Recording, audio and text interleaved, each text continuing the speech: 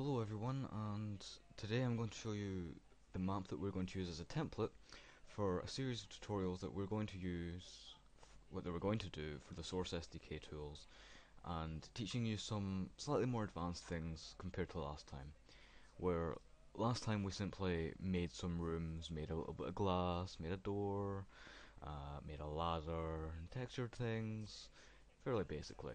Well, in this map, um, I'm going to introduce a few more advanced things, really.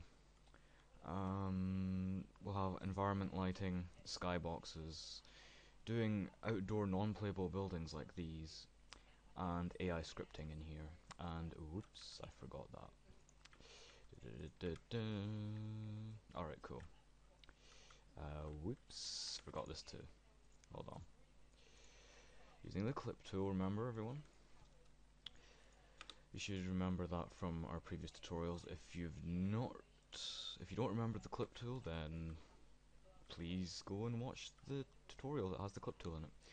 Or you could wait until I actually make the tutorial for this, where I'll go over everything again anyway, because now that we have 15 minute videos on YouTube, it's much easier for me to go more in depth.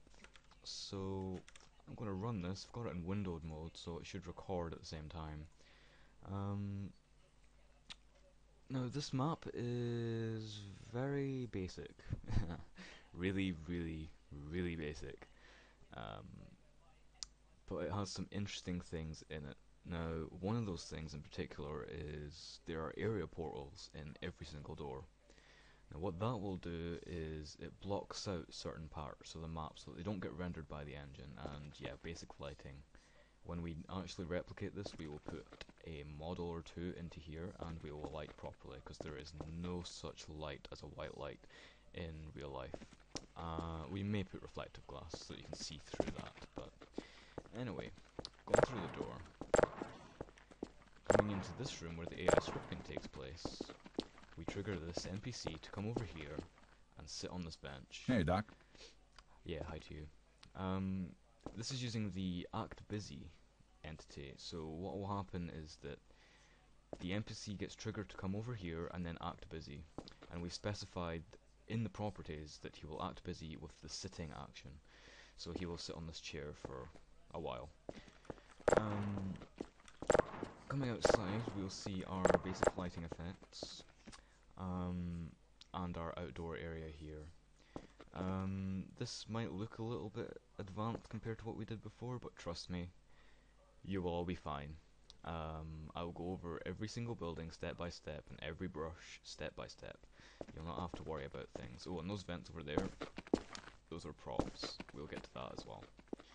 Uh, it works just the same as we did for the weapons earlier in the other tutorials. You just simply place them in the map, plate them, um, accurately place them wherever you want, and yeah, they're there. Uh, texturing we will cover properly. Um, in the last tutorial we textured very basically, we just did interior rooms. Uh, exterior texturing is a lot more difficult, uh, and it's very hard to make it look right, so yeah, we're going to need to get that to work. I'm not entirely sure if this red wall fits the area, to be honest, but um, Oh, by the way, I think the frame rate is like 15, uh, simply because the file size is like massive if it's 30, but anyway. This isn't the entire extent of what the map will be when we recreate it. What we're going to do is we're going to knock down one of these walls, and we're going to add on to the map during the tutorials, but I wanted to put this brief video up just to show you roughly what we're going to be doing at the beginning. So, yeah, I thank you for watching my video.